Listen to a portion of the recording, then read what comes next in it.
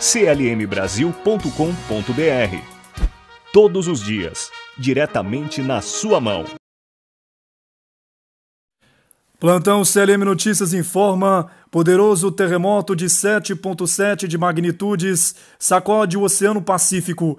Um alerta de tsunami foi emitido para dezenas de países. Um poderoso terremoto de magnitude 7,7 foi registrado na costa de Vanuatu e Nova Caledônia nesta quinta-feira, de acordo com o Serviço Geológico dos Estados Unidos, disparando um alerta de tsunami para as nações vizinhas.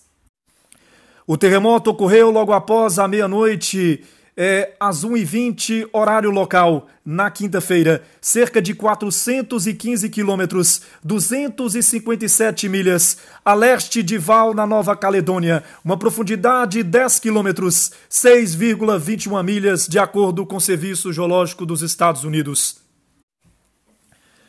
Ondas de tsunami perigosas decorrentes deste terremoto são possíveis nas próximas três horas, disse o Centro de Alerta de Tsunami do Pacífico. Ondas que alcançam 3 metros acima do nível do maré são possíveis em algumas costas de Fiji, Nova Caledônia, Nova Zelândia e Vanuatu, disse o centro. Até o momento não há informações de relatos ou vítimas, de acordo com o Serviço Geológico dos Estados Unidos.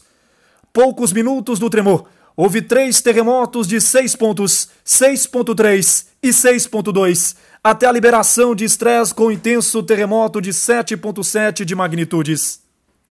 Esse é o primeiro terremoto mais intenso de 2021, no total até agora de dois tremores de 7 a 7,9.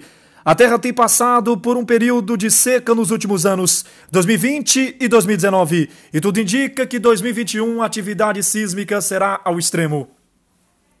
Mais informações, visite o portal da Selim Brasil www.clmbrasil.com.br. Se inscreva no canal CLM Notícias, ative o sininho e compartilhe essa notícia em suas redes sociais.